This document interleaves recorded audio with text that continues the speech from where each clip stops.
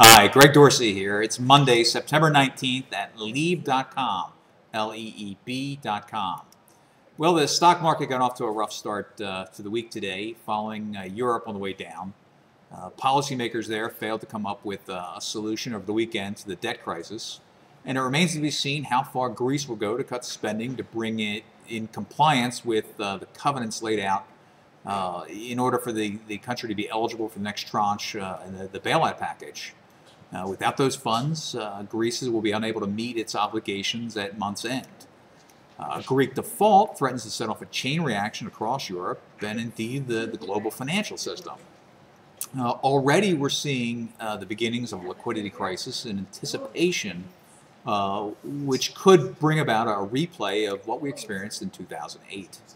Uh, stocks here at home uh, did manage to pare their losses by the end of the session, uh, but trading was overwhelmingly negative, with nearly seven stocks declining for every advancing issue on the NYSE. Uh, the one major average that managed to close in the green uh, was the NASDAQ 100, but don't read too much into that. Two stocks, which happen to be complete investor picks, Apple and Amazon, were behind the QQQ's gain, thanks to their more than 18% weighting in the average. Uh, as for how the rest of the week will, is shaping up, well, Europe will continue to set the tone, as will the Federal Reserve. Uh, the Fed's policy setting arm is meeting tomorrow and Wednesday, and expectations are high that the central bank will take some action uh, in a bid to bring long term interest rates down to kickstart the economy.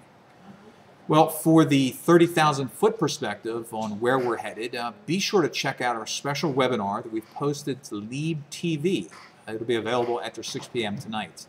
That's L-E-E-B dot TV. I'm Greg Dorsey. Stop by again soon.